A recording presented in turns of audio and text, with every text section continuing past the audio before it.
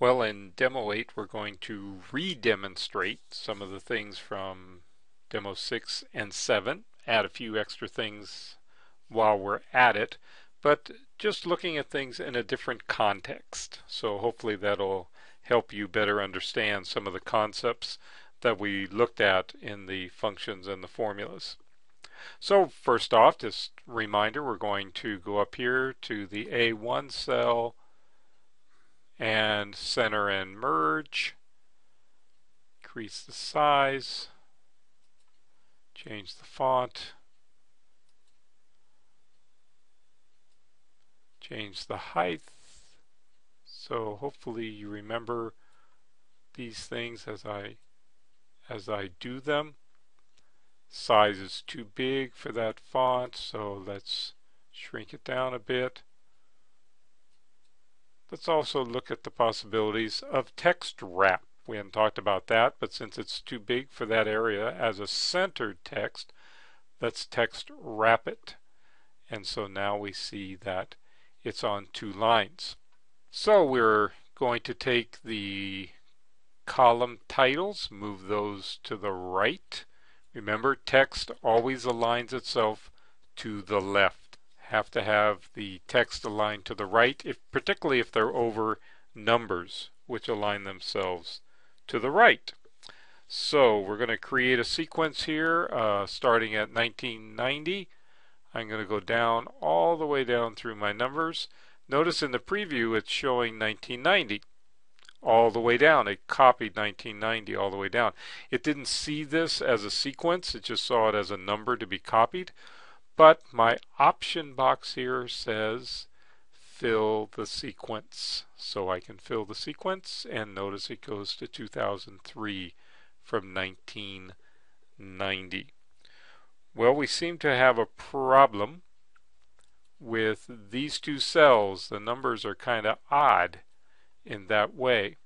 So let's see if we can figure out what's wrong with these two cells as far as the numbers are concerned.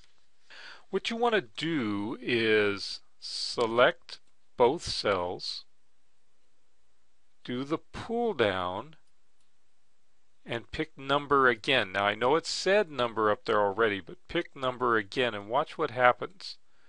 When you pick number, it automatically puts the number into no commas and two decimal places. So this is a good number right there. That's a good number. We'll take the two decimal places out and we'll align it to the right. Well actually let's let's just add the comma to it automatically and take then we have to take out the two decimal places. The problem with this number is very slight. And the problem was I had hit the space bar before I type the number in. So I hit the space bar, type the number, and it thought it was text by doing that. So you got to be very careful about your space bars and that sort of thing.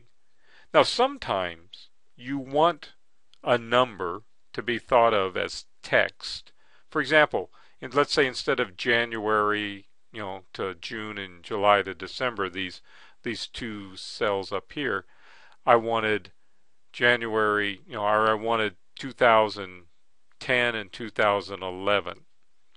Well, I'd want those thought of as text. So putting a space in front of those numbers would be good because then when I did a total, it wouldn't include that 2010 in the total, which I wouldn't want anyway.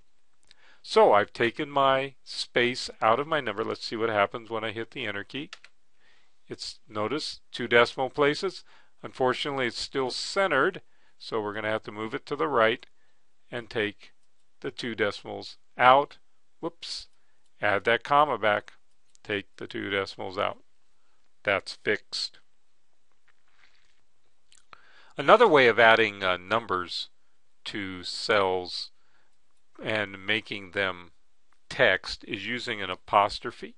So if I do apostrophe 2010 hit the enter key. Notice it stays over there. But I get this little error, error message. That's what that little green triangle is again, an error. So you look at the error and say, okay, tell me what my error is. Numbers stored as text. That's okay. So I'm going to ignore that error if I wanted to do that. Well, I'll clear that out. I don't want that to be part of my spreadsheet here. Total, remember what total is? It's equal sum, and in this case I'm only adding two cells. So we'll just add the two cells. So equal sign, always start an equation with equal sign. The first one plus the second one, the inner, We've got railroad tracks, which means we have to widen the column. Use my pull down. Boom. And there are my total numbers. Percentage change is another one of those equations that uh, we need to look at.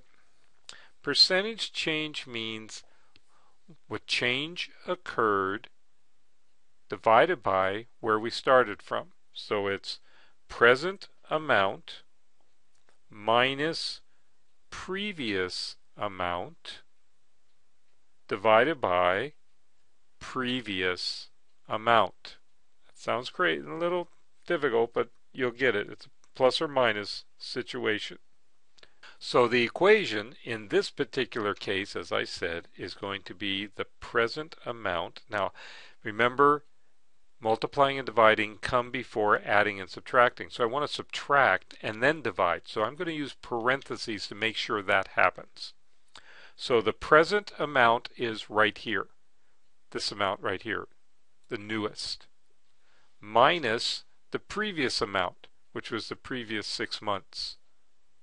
I'm going to finish off that parentheses. No, it kind of slips to the next cell, just looks that way throw in my divide, and divide by the previous amount, that B5 again.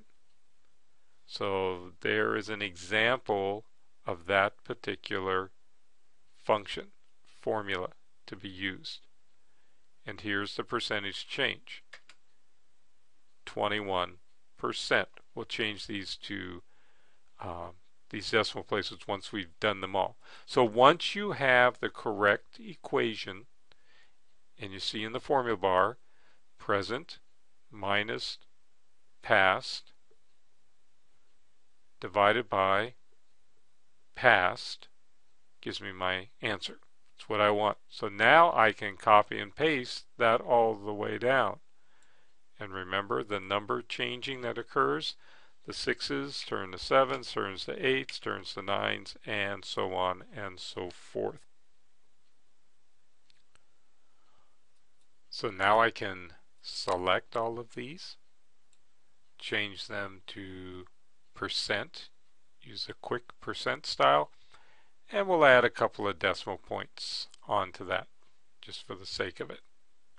Now let's say my boss comes in and he says, I want you to project an 8% increase starting in 1991 for some reason. He wants that.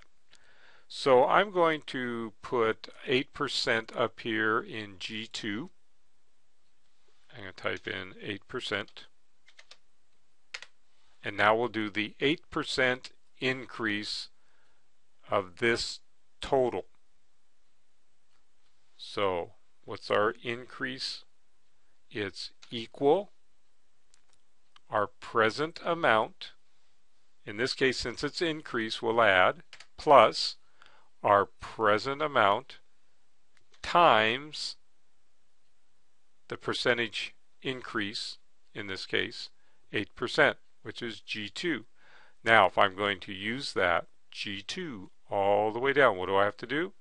I have to change it to absolute cell reference. Hit the F4 to get those dollar signs there. So there's the equation for increase.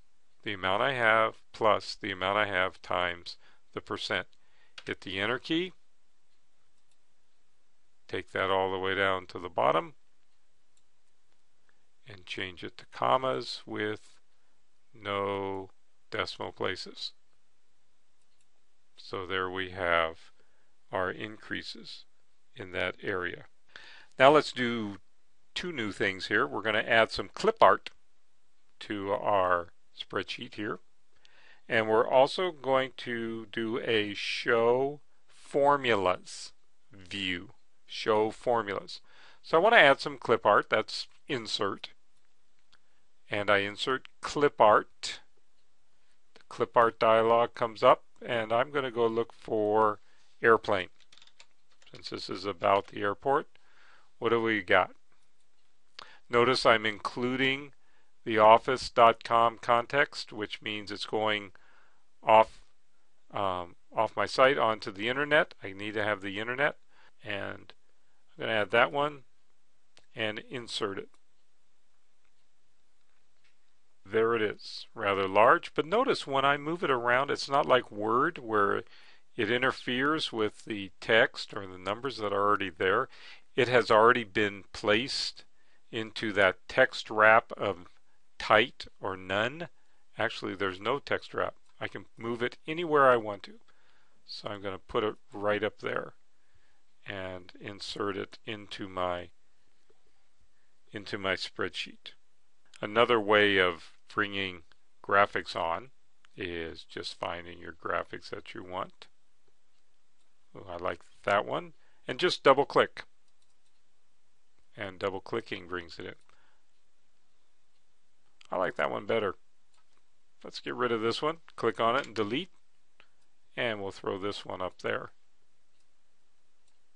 You can add some formatting style to it if you want. Notice since it's already set up kind of in a shadowed format, we'll just leave it like that. So the second thing we want to look at is how do we show the formulas. There's two ways of showing the formulas. Through the ribbons you would use the formula tab right there, formula tab. And over here under formula auditing you have show formula. And notice the shortcut is a controlled accent mark. That's not the apostrophe, that's an accent. And the accent is above your tab key right next to your number one. So control accent mark or right here under formula to show formulas. When I click on that notice that my cell gets wider and that the columns get wider because they're showing all of the formulas that were used in this particular spreadsheet so here's my totaling formula. Here's my percentage increase formula that happened between the first half of the year and the second half of the year.